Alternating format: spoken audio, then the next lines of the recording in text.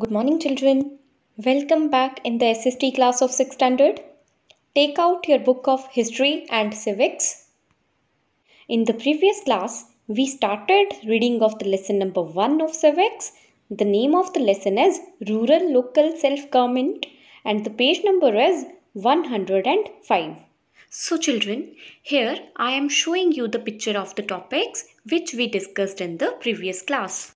Introduction Rural Local Government, Gram Panchayat or the Panchayat, Gram Sabha, its composition and functions.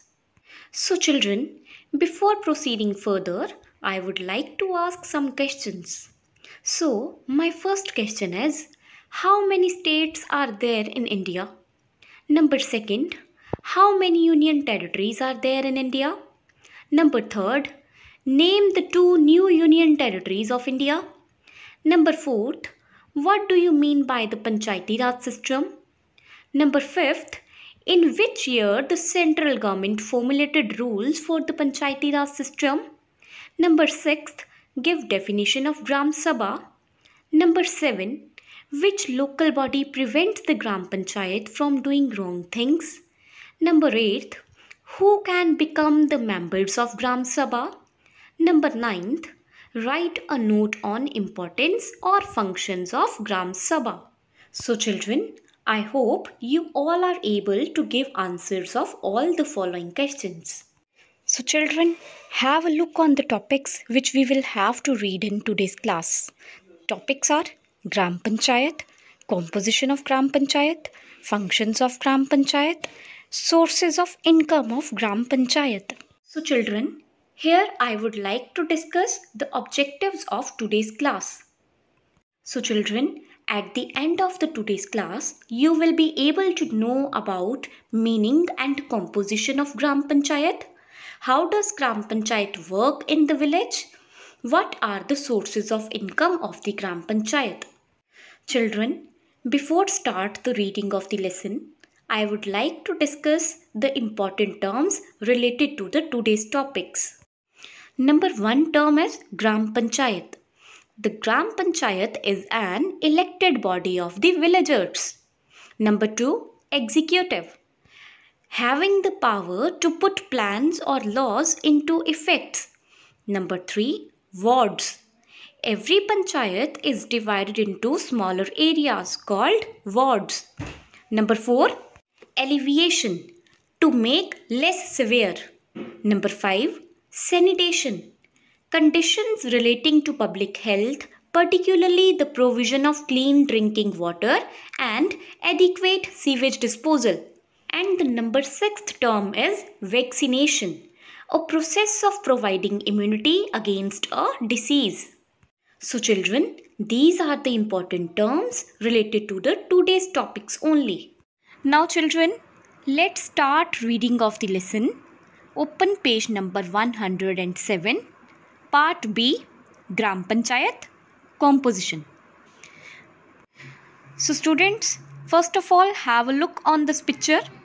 I showed you this picture in the previous video also. In this picture, you will see the Gram Panchayat that is the first tier of the Panchayati Raj system. Here the Gram Panchayat is divided into three parts. Number one is Gram Sabha, number two is Gram Panchayat and number 3 is Nyay Panchayat. In the previous class, we read about the first part of the Gram Panchayat that is Gram Sabha. Now we are going to read the second part of the Gram Panchayat that is Gram Panchayat itself. Now children, let's start reading. Composition The Gram Panchayat is an elected body of the villagers. It implements the decisions taken by the Gram Sabha. So children, this is the definition of the Gram Panchayat. That is, it acts as an executive body of the Panchayat. So children, here the word implement means to give practical effect. So children, Gram Panchayat is an elected body of the villagers or the Gram Sabha which gives the practical shape or to carry out the decisions taken by the Gram Sabha. So, it acts as an executive body of the Panchayat. So, children, what do you mean by the executive body? Executive means having the power to put plans or laws into effect. Now let's read further. Every panchayat is divided into smaller areas called wards. Each ward elects a representative who is known as the ward member or panch. Also, the members of the Gram Sabha directly elect a sarpanch who is the panchayat president. Children, let me explain. What do you mean by the term wards? It means every panchayat is divided into smaller areas called wards. Each ward elects a representative. Representative means elected members of the Gram Panchayat through the Gram Sabha, who is known as the ward member or Panch. Also, the members of the Gram Sabha directly elect a Sarpanch, who is the Panchayat president, who is known as the Mukhiya of the Panchayat. Thus, all the ward members and the Sarpanch are directly elected by the members of the Gram Sabha. The State Election Commission conducts these elections. All these elected people form the Gram Panchayat. The Gram Panchayat is elected for a term of 5 years. So children, let me explain this paragraph. So, all the ward members and the Sarpanch are directly elected by the members of the Gram Sabha. Which commission conducts these elections? The State Election Commission conducts these elections and all these elected people form the Gram Panchayat and the Gram Panchayat is elected for a term of 5 years. Let's read further. A certain percentage of seats in the Gram Panchayat is reserved for people belonging to the scheduled castes and the scheduled tribes. One third of the total seats shall be reserved for women. So, children, here the word certain means fixed and the word reserved means booked. Children, let me explain. A fixed percentage of seats in the Gram Panchayat is reserved. Reserved means booked for people belonging to the scheduled caste and the scheduled tribes. And the one third of the total seats shall be reserved for women. Children, let's read the next paragraph. The state government appoints a secretary for the Gram Panchayat who is also the secretary of the Gram Sabha. The secretary receives a regular salary. He or she is responsible for calling the meeting of the Gram Sabha and the Gram Panchayat. He or she also maintains the record of the proceedings and looks after the functioning of the office of the Gram Panchayat. So children, which government appoints a secretary for the Gram Panchayat? The state government, who is also the secretary of the Gram Sabha.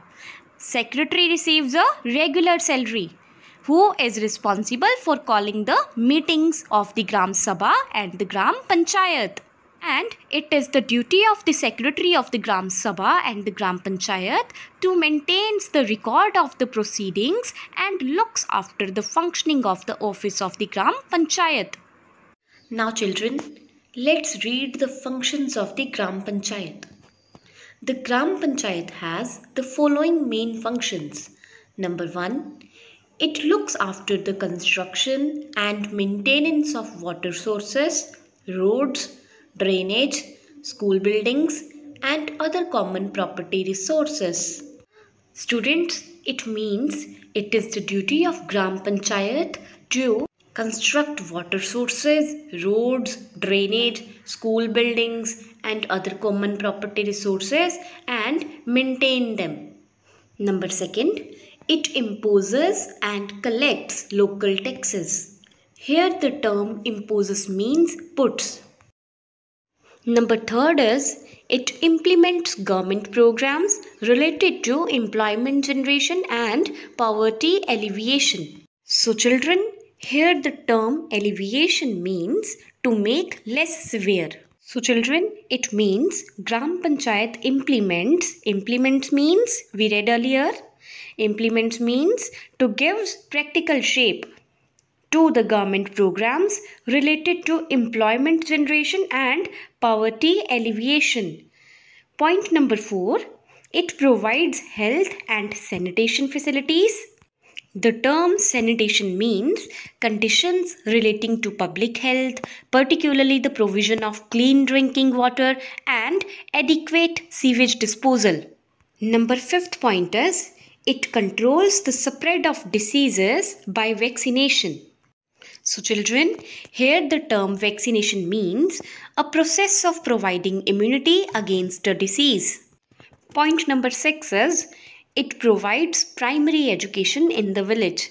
So children, Gram Panchayat opens the primary schools in the village, encourage the parents to send their children in the schools. Point number 7 is it maintains record of births and deaths in the village. So children, Gram Panchayat maintain regular records of how many people are born and how many people are died in the village. Number 8 point is it helps farmers to develop and improve their farms and cattle. It helps in providing good quality seeds and fertilizers. So children, Gram Panchayat helps farmers in agriculture by providing them good quality seeds and fertilizers. Number 9 point is it looks after the welfare of the weaker sections of the village. So children, here the weaker sections means the people who are not able to earn their livelihood. The number 10th point is it organizes cattle fairs and village fairs. For the term fairs, you can say exhibitions. So, Gram Panchayat organizes cattle fairs. Cattle fairs means animal fairs and village fairs. So, children, these are the important functions of the Gram Panchayat. Now students, let's read the next topic that is sources of income. The Gram Panchayat obtains funds in a number of ways. Number 1. It obtains funds from the collection of taxes on houses, marketplaces, fairs, etc. The word obtains means takes. So the Gram Panchayat takes funds from the collection of taxes on houses, marketplaces, fairs, etc. Number second point is it receives government scheme funds through various departments of the government through the Janpad and Jila Parishad. So children, Gram Panchayat also receives government scheme funds run by various departments of the government through the Janpad and Jila Parishad. The number third point is it also receives donations for community works etc. It means Gram Panchayat receives donations for community works. Community works means for the work of village. Fourth point is it obtains fees for registering the purchase and sale of cattle, land and other property. So children, Gram Panchayat takes registration fees on the sale and purchase of animals, land and other property. Point number fifth is it has a share of some taxes and fees collected by the state government. So children, Gram Panchayat also receives help in the form of taxes and fees by the state government. Number sixth point is it obtains funds from the sale of property owned by the community. It means Gram Panchayat takes funds from the community on the sale of property. And the point number seventh is it obtains grants from the state government. So here the term grants means you can say gifts in the form of land. So children, these are the sources of income of the Gram Panchayat through which the Panchayat can implement their plans for the welfare of the village. Now children, Open the page number 113 of your book. See the exercise number 9. This is a village scene representing an important function of the Gram Panchayat. Representing means showing an important function of the Gram Panchayat.